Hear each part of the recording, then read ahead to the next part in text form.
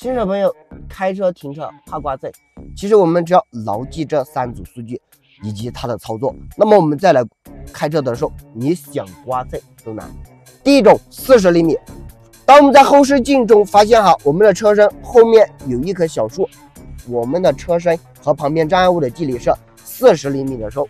那么我们要想避让障碍物，我们把车子直直的往后倒。当我们在车内看到哈 A 柱夹角和旁边咱们的这个树重合的时候，我们往右打死方向盘，往后倒，我们的车头是不会刮蹭到旁边小树的。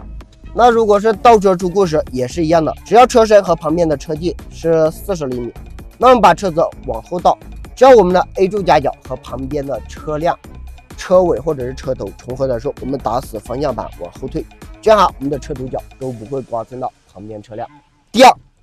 开车出库时，我们的车和旁边车距是四十厘米。那么，只要我们的坐姿和旁边的车头或者车尾平行的时候，我们往左打死方向盘，我们的车身也不会刮蹭到旁边的车辆。第三种，倒车出库时，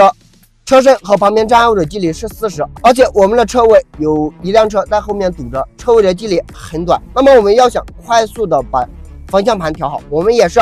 倒车出库时，我们原地打半圈方向盘。直接挂倒档往后退，这样哈，我们的左侧车头角不会刮蹭到咱们的旁边车辆，而且我们的这一个车尾，大家可以看一下，也能快速的避让开后方车辆，非常的安全。第四点，侧方位停车时，也是只要我们的车身和旁边的距离大于四十，那么我们把车子往后退，只要我们的 A 柱夹角和旁边的这一个车尾重合以后，我们就可以往右打死方向盘。往前，这样哈，我们的车头也不会刮蹭到咱们前面的车辆。第二个距离就是八十厘米，八十厘米也就是我们的车门完全打开后不刮蹭到旁边车辆，那么这个距离大概就是八十。第一种，开车出库或直角转弯时，只要我们的车身和旁边车距的距离大于八十，我们把车子往前开，只要我们的后视镜过了旁边障碍物，我们就可以往左打死方向盘，这样我们的这一个。车身都不会刮蹭到旁边的障碍物，大家可以放心大胆的开。第二个，只要车身和旁边的障碍物距离是八十，那么我们在